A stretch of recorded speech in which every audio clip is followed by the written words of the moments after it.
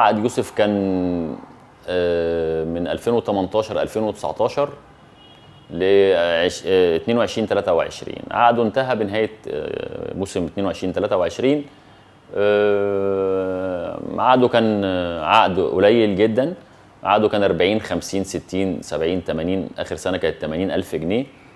آه، حقيقة إن الناس عرضت علينا ما- فيش حد عرض علينا اتعرض علينا بعد ما كان يوسف وقع لنادي بيراميدز بالفعل. والكلام ده كان في منتصف شهر خمسة. وإحنا كنا بنتكلم في موضوع دوت من شهر 10 موسم 2022 23 كان في قبل مباراة السوبر آه، في الإمارات أمام النادي الأهلي. واتعرض علينا عرض واحد بس هو اللي إحنا سمعناه ساعتها. كان عرض عبارة عن مليون ونص آه، في السنة. والعرض دوت قلنا إن إحنا آخر السنة اللي يبقى لينا لسه كلام تاني لسه عندنا شهر 10 لسه عندنا من شهر 10 لشهر 8 يبقى عندنا فرصة كويسة جدا آه، إن إحنا نتكلم في العرض دوت وما نضغطش على اللاعب نخليه يشتغل وهو كان شغال في الفترة دي بشكل كويس جدا وبالتالي آه، أجلنا آه، مناقشة ال- ال- التجديد لبعد انتهاء السنة لكن الأحداث بقى اللي حصلت النتائج السيئة مع رحيل مجلس الاداره مع رحيل المشرف على الكورة مع رحيل مجلس إدارة نادي الزمالك هنا المفاوضات ما بقاش فيه مفاوضات أو ما بقاش فيه حد تقدر تتكلم معاه في تجديد. كل اللي كانوا موجودين ساعتها كانوا بيتكلموا ما لهمش ما كانش حد ليه حد ليه صفة يعني إن أنت تتكلم معاه في عقد وتتناقش في عرض وكده. حتى كل اللي كانوا موجودين تقريبا قال لك إحنا ملناش علاقة بموضوع التجديد لأن إحنا مش مش منوطين إن إحنا نتكلم في تجديد زي مثلا الكابتن عبد الواحد السيد كان مدير الكورة وأول واحد أنا قلت له آه عشان تبقى عندك معلومة إحنا كان موضوع التجديد مؤجل لنهاية ال- الموسم فقال لي أنا مش منوط بموضوع التجديد أو أنا مش من هيئة مثلا أو من لجنة التعاقدات اللي ممكن أتكلم في التجديد.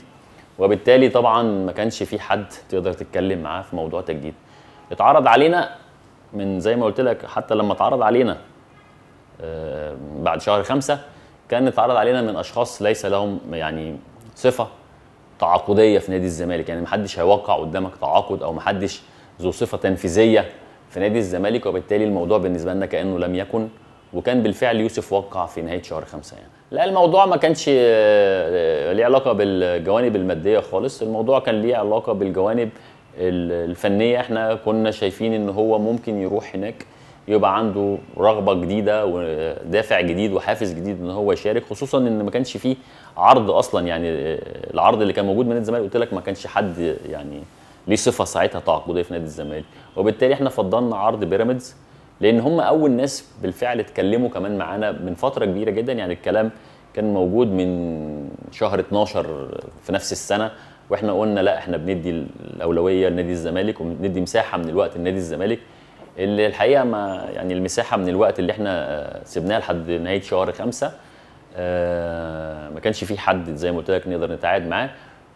أنا عارف إن اللعب في بيراميدز صعب يعني السكواد اللي في بيراميدز أو لعيبة اللي موجودة في بيراميدز في أماكن يوسف اللي موجودة آه، عارف إنه فيها صعوبة إن هو يشارك. لكن هو بياخد على فترات الناس مقتنعة بيه جدا الناس مصدقاه المدير الفني مقتنع بيه هو دايما خيار من الخيارات ساعات بي آه بيشارك رغم ان المشاركه فترات قليلة.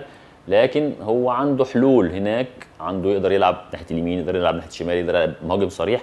فإحنا المنافسة بالنسبة لنا إن إحنا مش مقيدين إن إحنا نلعب في مكان واحد إحنا نقدر نلعب في أكتر من مكان. لسه صغير لسه خبراته إن شاء الله هتزيد خلال المرحلة اللي جاية. هيشارك إن شاء الله بإذن الله وهيبقى ليه شكل خلال الفترة الجاية. إحنا أولاد نادي الزمالك ولو لينا نصيب نرجع في أي يوم هنرجع إن شاء الله مفيش شك. لكن الانتقاد ده لأن الناس مش عارفة حقيقة الأمر لأن اللي بتصدر للإعلام حاجة والحقيقي حاجة تانية. زي ما قلت لك إن إحنا لما اتعرض علينا ما اتعرضش علينا حد بصفة تعاقدية. يعني ملوش حد ملوش يعني اللي اتكلموا معانا ما لهمش ما لهمش صفة بالنسبة يعني أنا كأسامة اللي عشت في نادي الزمالك بالنسبة لي هو ملوش صفة إن هو يتعاقد أو إن هو يتكلم في في عقد لعيب. هو كل الأهداف اللي كانت بتحصل كلها إن اللاعب يوقع بس عشان التاني ياخد الشو الإعلامي اللي هو أنا خليت لكم يوسف وسيف يوقعوا. وكل الكلام ده كان بالنسبة لنا كلام واهي ملوش علاقة بإن ده صاحب صفة تنفيذيه في نادي الزمالك. وبالتالي آه، ابتعدوا اللعيبة أو ابتعد يوسف عن كده. حتة الانتقاد إن يوسف مشي راح بيراميدز زي ما قلت لك الناس مش عارفة الحقيقة وده مهم جدا إن إحنا نوضحه. إن شاء الله لو لينا نصيب نرجع مرة تانية. إن شاء الله بإذن الله هنرجع إن شاء الله. هنرجع يعني لو لينا نصيب نرجع هنرجع بإذن الله. أنا ما أعتقدش إن هو يعني يروح الأهلي في الفترة دي لأن طبعا هو متعاقد مع نادي بيراميدز وزي ما قلت لك إن نادي الزمالك بيتنا ومكاننا وإن شاء الله لو لينا نصيب نرجع هنرجع تاني نادي الزمالك إن شاء الله.